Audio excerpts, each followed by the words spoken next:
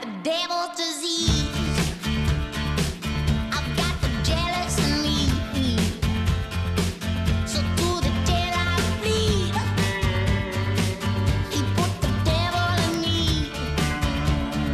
Well, she is a super talented and award winning singer songwriter who received critical acclaim for her debut record, Holy Smoke. And she's here today to talk to us about her second record, Gravel and Wine. Gin Wigmore, Thank welcome you. to Thank you very much. Yeah, love to be here. It's great to have you. Now, let's start back at the beginning, quite a, a while ago, I guess we would say now, with respect to Gravel and Wine. Yep. Did you go to the States with the idea of writing and starting your second album there? Yes, I did. I did totally with that with that in mind because after Holy Smoke, I kind of I was exhausted with what I I, you know, I was just exhausted and I and I didn't know what to write about. I'd written all my stories. I'd used all my lyrics. I'd used all my past relationships, you know, to death.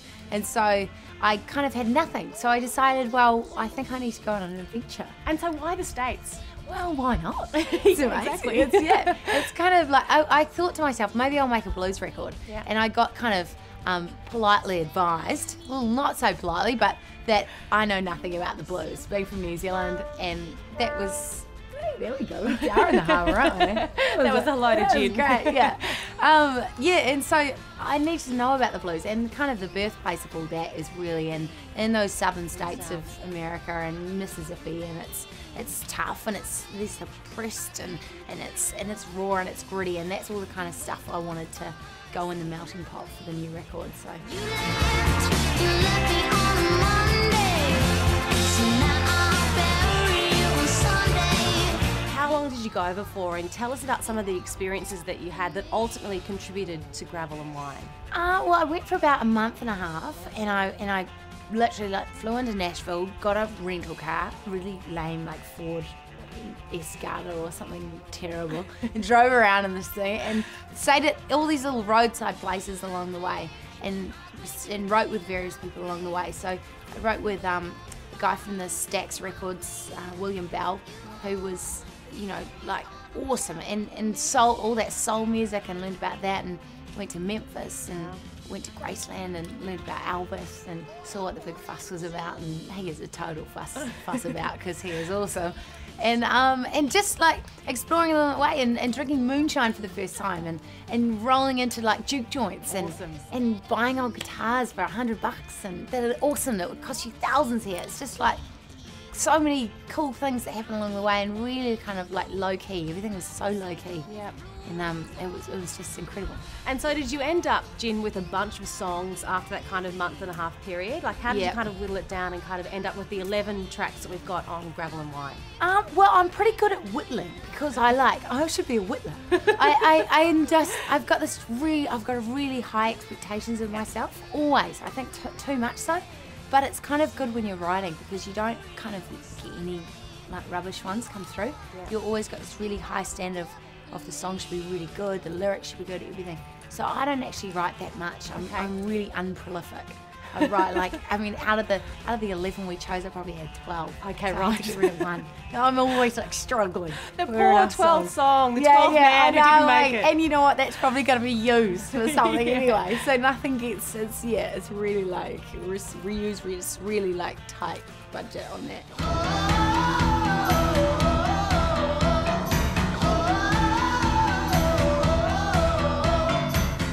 Title, Gravel and Wine, Mm. where does that come from and what does that mean? Um, well, it kind of like it was a last minute thing because I, I can never think of title names. Like it's like getting all these songs together and then thinking of a snappy little zhuzhy little phrase to like sum it all up. I mean, I think that is so like, "Ugh, what do I do? So I had all these terrible names. And, and then I kind of thought I need something cool, and so I read through all the lyrics, and Gravel and Wine's lyric in Black Sheep.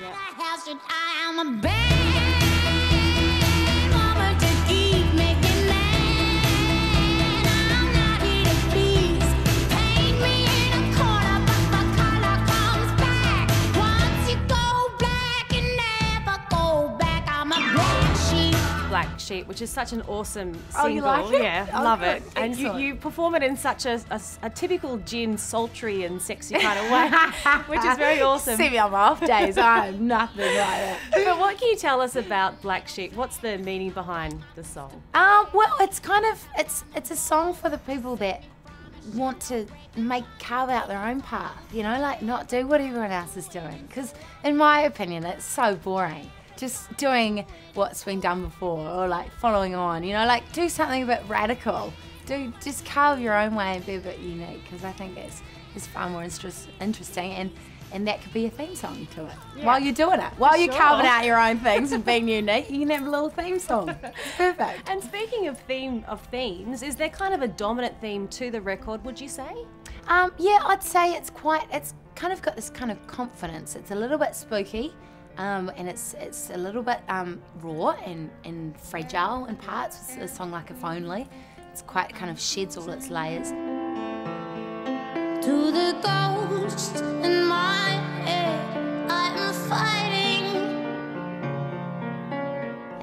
There's it's quite kind of strong female, but then it's got sexiness to it that Yeah. boys quite like. You see that at gigs, they're like, ooh, yeah. You see they get all blushy. It's quite nice. Get a little sexy dance going.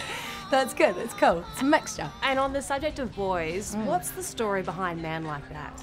Uh, well, it's it's a warning song for like all the girls. Like, say for instance, I'll put this into theory. So, say for instance, you came to me and you're like, "Oh, Gin, I'm going out with this guy," and I'd actually dated him before, and I'd be like, "All right, let's just sit down. Let's just have a little chat. Me and him have obviously broken up. He was dick. Yep." And so I'm just going to fill you in on why he was a bit of a dick, and so that what? you don't make that same mistake, and and so you don't lose two years of your life figuring that out. I love that you've put that into a song because those conversations happen between girls all the time. But they never happen with the new girl because that's like a no-go Yeah, zone. You can never see like the the ex-boyfriend's new girl. It's like no, you'll never meet really, unless you might meet in a bathroom and it will be really awkward. Exactly. But if we could have a little sit down, I'll tell you all his faults. It'd be lovely. So this is kind of a song like that.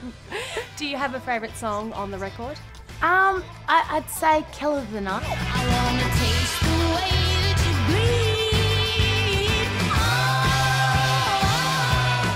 Kind of evokes the side in me that I don't know really. I don't know, maybe it's somewhere down in my feet or something. But it's like this kind of mmm vibe. I don't know, the hooty gooty is coming up in me or something. I don't know. It's cool. And then, Gin, what about uh, music videos? Can you talk to us what, about what you've shot so far? And Yeah, um, I've done I've done If Only, a song, uh, music video of that, and Black Sheep and Man Like That, and Devil in Me. We kind of mashed all this stuff, all these kind of cool weird images together. Oh, yeah. So I've done a few, yeah, but they're good. They kind of all stick together as well, which I quite like. You are the devil in me. touring Gin, Yeah. talk to us about that. There's been a 2012 Gravel and Wine yes. tour. Yes, yes, yes, there has. I've done actually quite a lot of touring through Australia this year. I, I don't usually in the past. I haven't so much. Um, but it's been really cool to be actually going out and seeing a, a change in my crowds, kind of on the up and up. So that's that's mo- it's really motivating. If you see fans really into it and and your crowds are growing, you just all I want to do is get back and play. So it's yeah, it's it's fun. And how are they responding to the new tunes? Yeah, good actually. A lot better than Holy Smoke, especially in Australia. It seems like it's kind of connected a little more this time. So I don't know if I've been around so long that people have um, no choice but to kind of finally listen to me and figure out what I'm doing. You're force feeding them. Yeah, yeah. I'm like, just do it. But um, yeah, or it might be that, that you know, Aussies quite like this record. I don't Yeah, know, but yeah. it's it's it's quite cool. It's really nice to be playing in front of these crowds.